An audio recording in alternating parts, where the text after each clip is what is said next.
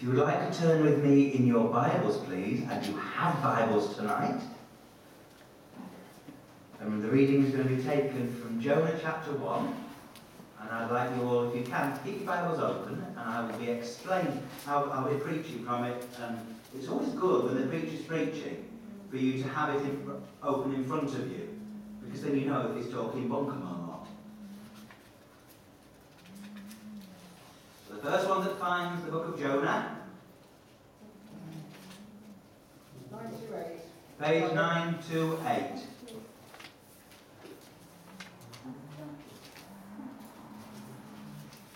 The most delightful sound is the rustling of those pages.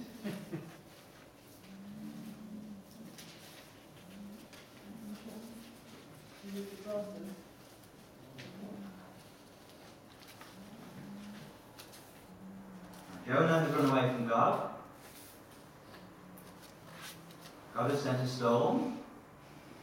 Sailors have found out who, who's responsible. And so we take up the account from verse 15. Then they, the sailors, took Jonah and threw him overboard, and the raging sea grew calm. At this the men greatly feared the Lord, and they offered a sacrifice to the Lord and made vows to him. Now the Lord provided a huge fish to swallow Jonah. And Jonah was in the belly of the fish three days and three nights. From inside the fish, Jonah prayed to the Lord his God. He said, In my distress I called to the Lord, and he answered me. From deep in the realm of the dead, I called for help, and you listened to my cry. You hurled me into the depths, into the very heart of the seas, and the currents swirled about me. All your waves and breakers swept over me. I said, I've been banished from your sight. Yet I will look again towards your holy temple. The engulfing waters threatened me. The deep surrounded me. Seaweed was wrapped around my head. To the roots of the mountains I sank down. The earth beneath barred me in forever. But you, O Lord my God, brought my life up from the pit. When my life was ebbing away, I remembered you, Lord, and my prayer rose to you, to your holy temple. Those who cling to worthless idols turn away from God's love for them. But I, with shouts of grateful praise, will sacrifice to you. What I have vowed, I will make good. I will say, Salvation comes from the Lord. And the Lord commanded the fish, and it vomited Jonah onto dry land. Let's pray. Father, we thank you for those familiar words. Words of an account we probably heard in Sunday school about the errant prophet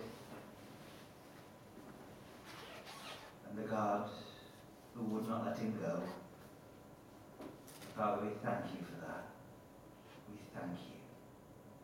We ask now that as we look into it, that you would anoint me to speak and all our hearts that we might receive from you that which you desire us to hear. Father, we thank you. Through Jesus. Amen. Well, Jonah had been called, had been called by God to preach to the people of Nineveh. The wicked, aggressive, cruel Assyrians. Now, he wasn't afraid to go. Rather, he hated the Assyrians. They were oppressing his own people. They were threatening, or maybe even had already destroyed his hometown of Gath Hepher in Galilee, which they did. He hated them, and he was afraid that if he preached to them, they might repent and God might forgive them. That's the last thing he wanted. He wanted God to rain down sulphur and all the fires of hell on them. This little book of Jonah is a wonderful insight both into the heart of God and also into what he expects of those he's called. At this point, I'll, I'll just remind what I said this morning. God didn't just call the preacher. God didn't just call the deacons. God has called each and every one of us. He's gifted us and equipped us to serve. So God has called you. So don't switch off. Jonah had heard the call of God. The word of, God, of the Lord came to him. Jonah heard it and set off in the opposite direction. But God had called him, and he wasn't going to let him get away with it. God loved Jonah, but he had some lessons to learn not least about obedience. God is love. But we need to remember that God is God. He isn't a big Father Christmas in the sky. He isn't there to provide for our every whim. He is God. We were created for his pleasure. He wasn't created for our pleasure. We were created for his. He is the creator. We are the creatures. He is God, and he expects obedience from each and every human being. And he particularly expects obedience from those who claim to be his people. He loves us, but he is God. Now, Jonah had some lessons to learn. But he had run away. He turned his back on God. He wasn't listening. Psalm 95 could have been written for him. Today, if only you would hear his voice, do not harden your hearts. Now, Jonah hardened his heart against the Assyrians. And in doing so, he hardened his heart against God. As we see, see here, God had to do something drastic to bring Jonah to a place where he would listen. Does God have to do similar to you and to me to wake us up? We saw last time how God provided a great wind on the sea a wind that stirred up a tempest. The ship was in danger of breaking up. So the pagan sailors cast lots to see who was responsible. It might sound primitive, but God was working to bring about his will. He engineered it so that Jonah had to admit that it was because of him that they had to throw their cargo into the sea. It was because of him that the ship and the crew were, were in danger now. God was engineering his will. And in the end, those sailors, whether they liked it or not, had to throw Jonah into the sea. Those pagan sailors had lost their cargo. But in doing this, they were blessed because they came to a personal faith in the Lord verse 16. They offered a sacrifice, made vows, they committed themselves to God. God had provided the storm. And now that Jonah had been thrown into the sea, God provided a huge fish. And that word provided is one that appears several times in this book. It's an important word. God provided the storm. God provided this huge fish. Remember, God is God. And as creator of the universe, he's quite capable of creating or providing such a creature and quite able to keep Jonah alive for three days and three nights in its belly. God is God. So, verse 17 the Lord provided a huge fish to swallow the rebellious prophet. And Jonah was in the belly of the fish for three days and three nights. Now, you might think that it took three days and three nights for that fish to swim to dry land. But I put it to you that that wasn't the reason. Remember that God is able to do anything. In the Gospel of John, when Jesus walked on water to demonstrate to his disciples who he is, the moment that he got into the boat, John tells us, immediately they were on the other side of the lake. Jonah was in the belly of the fish three days and three nights, but it was for his benefit. Now the Lord now had Jonah where he wanted him. He wanted to bring the prophet back to his senses and bring him into a place where he would listen. Today, if only you would hear his voice, do not harden your hearts. For Jonah, the belly of that fish was the naughty step. God had to take him aside to think, to realize, and get into a, into a position where he would listen. Now, there are times when God will take his children aside and try to make them listen. He won't interfere with our free will, but he will corner us. And if he does, it's for our benefit. You might find yourself laid aside for any reason. Always ask, Lord, what have you to say to me?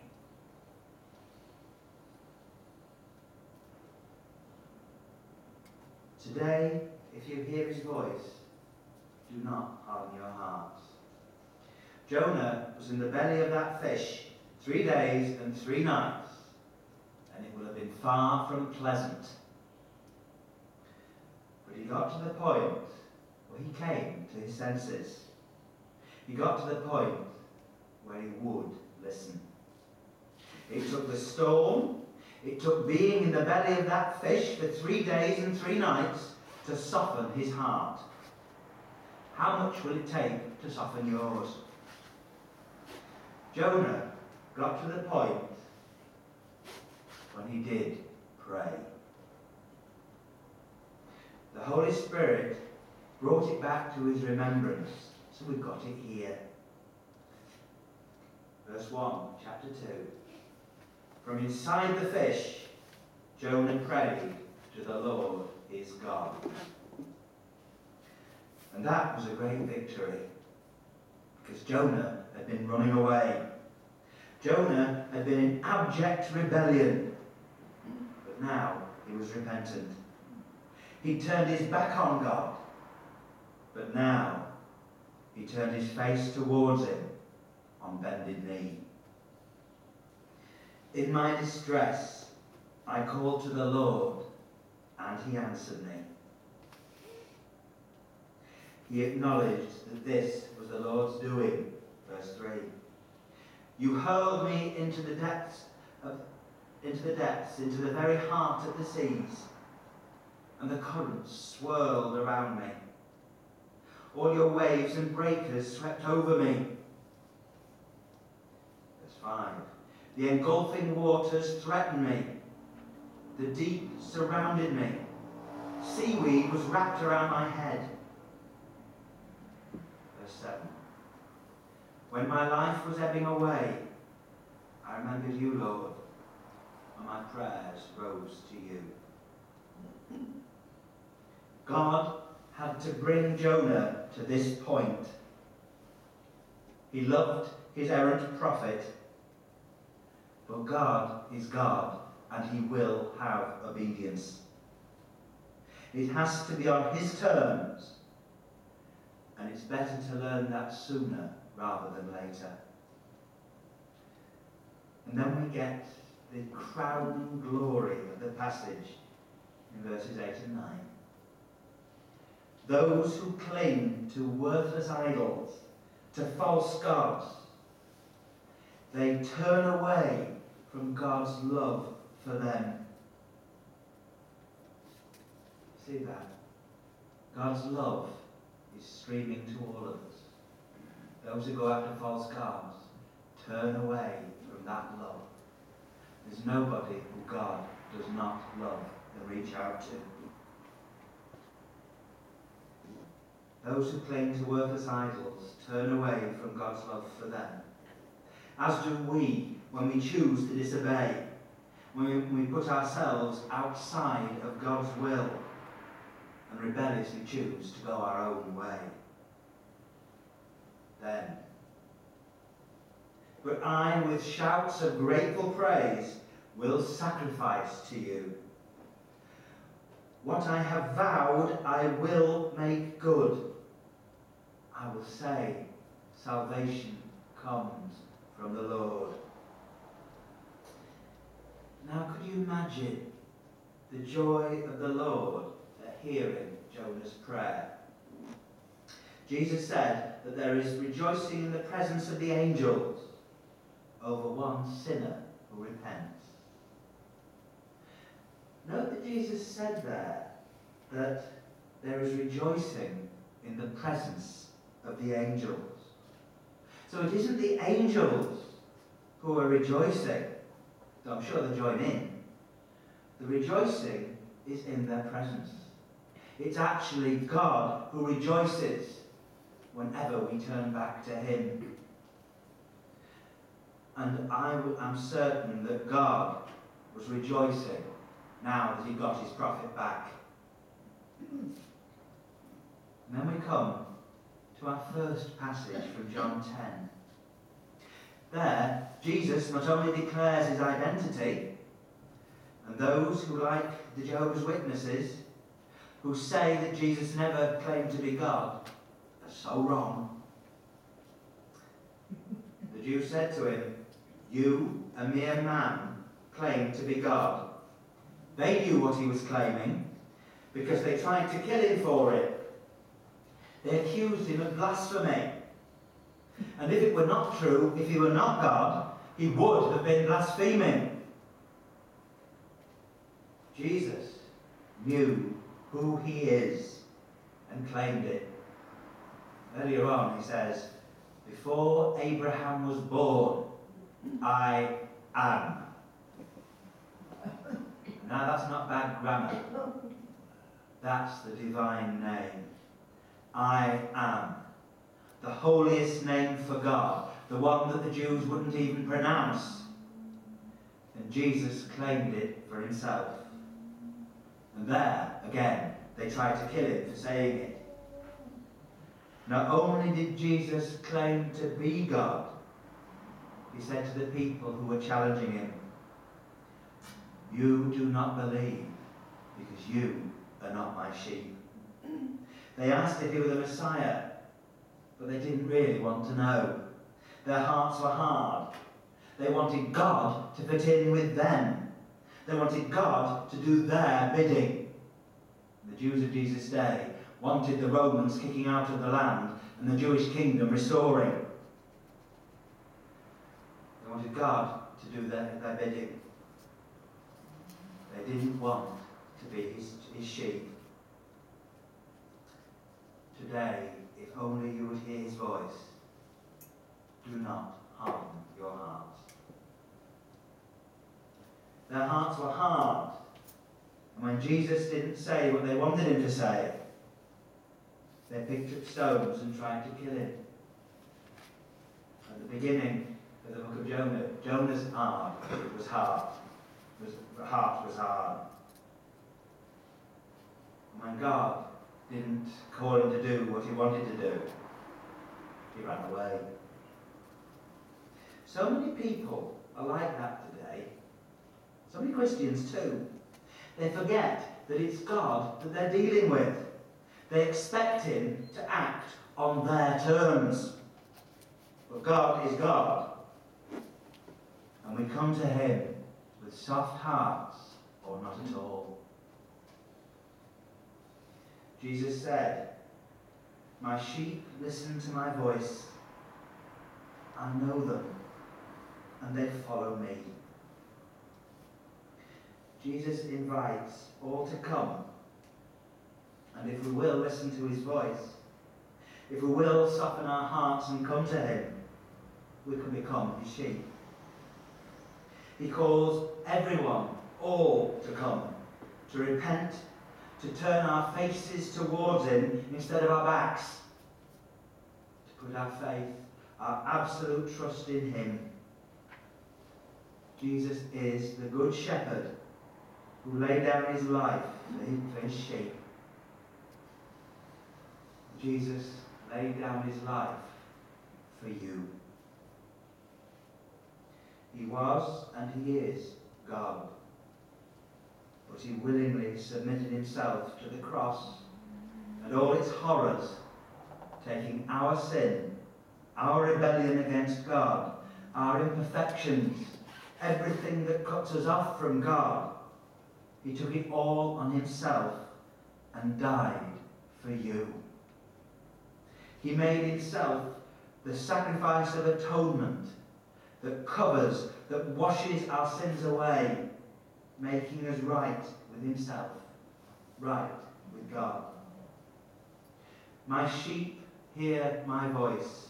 They hear, they turn to him, they believe, they commit. Like those repentant pagan sailors, like Jonah, they make their vows to God. They commit themselves to Jesus, to God. And when we do, we're not disappointed. My sheep listen to my voice. Jesus said that. I know them and they follow me.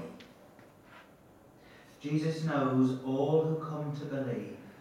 He willingly accepts all who come with soft hearts. He accepts them as his sheep. We cease to go our own way and we follow him. We follow the Good Shepherd who said, I give them eternal life and they shall never perish. Just as Jesus was raised to life on Easter Sunday, just as he was resurrected, so the moment we believe, we begin to share in his resurrection. If we will become one of his sheep and follow him, he gives us life eternal. He opens the door to heaven for us. My sheep listen to my voice. This is what God wants of us. To listen to his voice, to obey him, to follow him. The mark of a true Christian is that they want to hear his voice. And they put themselves in a position where they can hear. You can say, I want, I, I want to hear the voice of God, and then carry on just doing everything normal with your hands over your ears. If you want to hear God's voice, you'll spend time with Him in secret, you'll pray, you'll read His Word, and you'll listen. My sheep listen to my voice, said Jesus. I know them, and they follow me. This is what God wants of us to listen to his voice, to obey him, to follow him. The mark of a true Christian is that they hear his voice and follow. The genuine sheep follow the shepherd.